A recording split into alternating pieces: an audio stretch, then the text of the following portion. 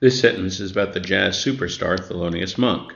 So first of all, look at the split at the beginning. Half the answers have Thelonious Monk, who was a jazz pianist and composer, and the other half have jazz pianist and composer Thelonious Monk. So this second way of saying it, first of all, it's a bit shorter. This is a bit clunky and wordy by comparison. But even more importantly, in the second choice, C, D, and E, Thelonious Monk, the subject of the sentence, is now directly adjacent to the verb, and that's always something advantageous. If you can put the subject next to the verb, why separate them by a clunky phrase? So rather than have this clunky phrase separating the subject of the sentence and the verb, we're just going to put the subject and the verb together. That means we're going to eliminate answer choices A and B. That leaves us with C, D, and E. So now I'm going to focus on this troublesome word, both. Both comes before the first term of two parallel terms that we're joining. So both x and y. That means that we're considering x and y together. If I have both rooted, it's coming before verb, that implies that there's going to be some other verb in parallel to rooted, both rooted and something else. That's not what we mean here.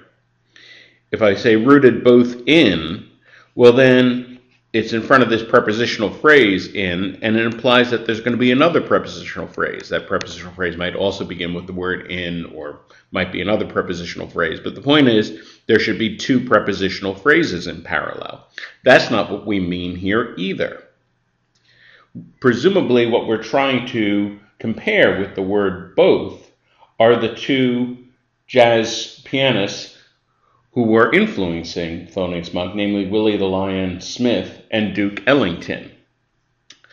And so we really need the word both directly in front of them, rooted in the stride piano tradition of both Willie the Lion Smith and Duke Ellington. Well, we don't have the option of putting the both out there because that's not part of the underlined sentence. So probably better just to get rid of the both entirely. So that eliminates answer choice E. Now we're down to answer choice C and D. And notice that the difference is in D, what we have is subject verb, Thelonious Monk produced. In C, we have Thelonious Monk who produced. So, in other words, all this is an independent clause. So we get Thelonious Monk who produced, blah, blah, blah, blah, blah, yet in many ways he stood apart. And so we have this yet, which joins two clauses. We have an independent clause in the second part of the sentence, subject verb. And so we would just have a subject without a verb in the first part of the sentence because if all this is subsumed into a clause, there's no verb for Thelonious Monk in the first part of the sentence. So C is an incorrect structure. D, on the other hand, is free of grammatical error, it is direct, it is sleek, it is perfectly clear, and it is by far the best answer choice.